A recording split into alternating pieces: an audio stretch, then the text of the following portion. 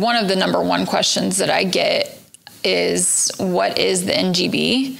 Uh, the national governing body, and that is USA Softball. And how we're qualified to be the national governing body is through the USOPC, so the United States Olympic and Paralympic Committee. And uh, we are the only softball organization that fields an Olympic team. And I think when you, as a grassroots player, as a youth player, even slow pitch adult teams, when you register with USA Softball to play in our events, you are contributing. We're a nonprofit, so you're contributing back to those national team programs.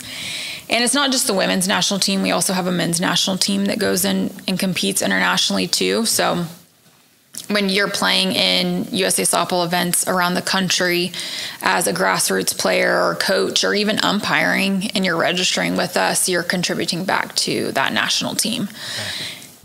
Yeah, and that was going to be like my next question was when you mentioned youth development. Like you started when you were four. Like this starts somewhere. Yeah. Has there been any big changes, like, in how that's been done over the years, just to widen the spectrum and get more kids involved in softball?